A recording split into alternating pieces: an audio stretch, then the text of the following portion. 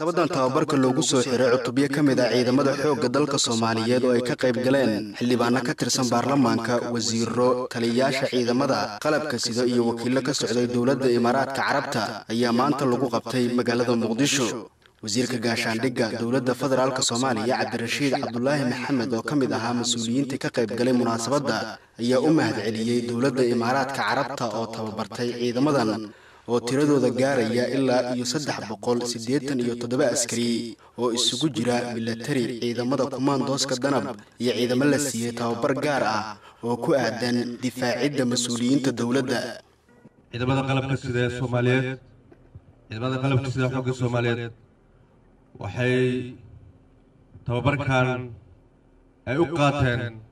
in ummadooda iyo dalkooda iyo danaha dalkooda ay ku difaacaan marka hore waxaan aada u jeclahay inaan u mahad celiyo dowladda imaaraadka oo la garab taagnayd muddaba kaalmooyin kala duwan ee isgarab istaag leh dowladda soomaaliyeed. Imaaraadka ma ilaabi doonno xilliyada adkaa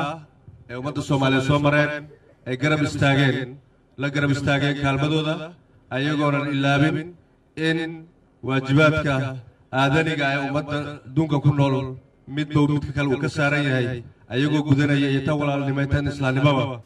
sidoo kale wasiirka gaashaandhigga ayaa sheegay ciidamadii maanta tababarka loo soo xiray inay ka qayb qaadan doonaan la dagaalanka maleeshiyada al-shabaab iyo soo celinta nabadda dalkeenna soomaaliya.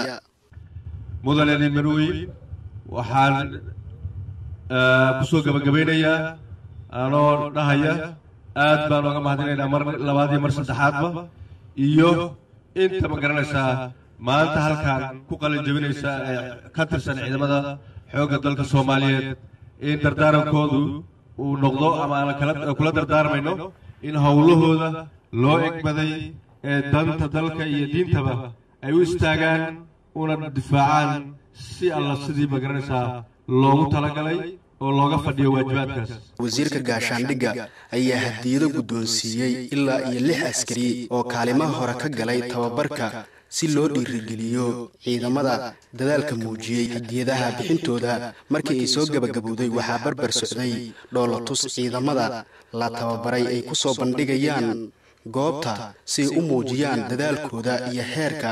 uu gaarsiisan yahay tababarka la siiyey. ciidamada maanta tababarka loo soo xiray waxa ay ka mid noqonayaan afar dufcadood oo dowladda imaaraadka carabta ay tababartay